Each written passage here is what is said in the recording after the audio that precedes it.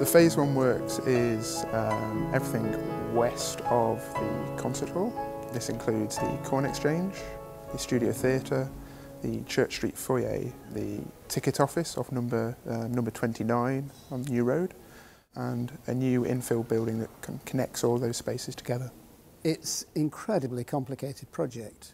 Uh, it involves restoring and enhancing a grade 1 listed building, a grade 2 listed building, a new building that is completely surrounded by other buildings and dealing with all kinds of problems that have occurred over the last two centuries of the life of this building.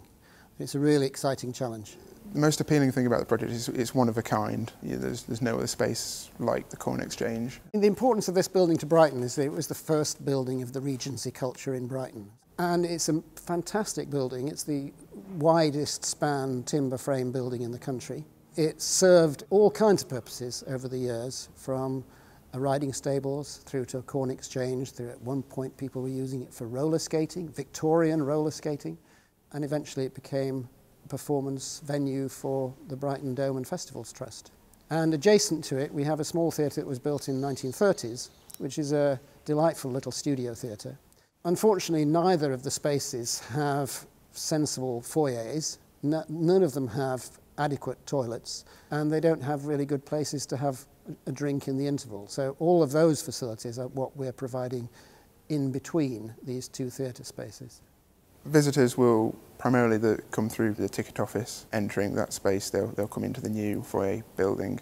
One of the main aims has been connecting that space with the Corn Exchange, using the bars and the circulation space around there audience will, whether they're visiting the studio or the Corn Exchange, will, will get glimpses of, of these spaces as they, they enter. What appealed to us most was, the, was this building, was the Corn Exchange building.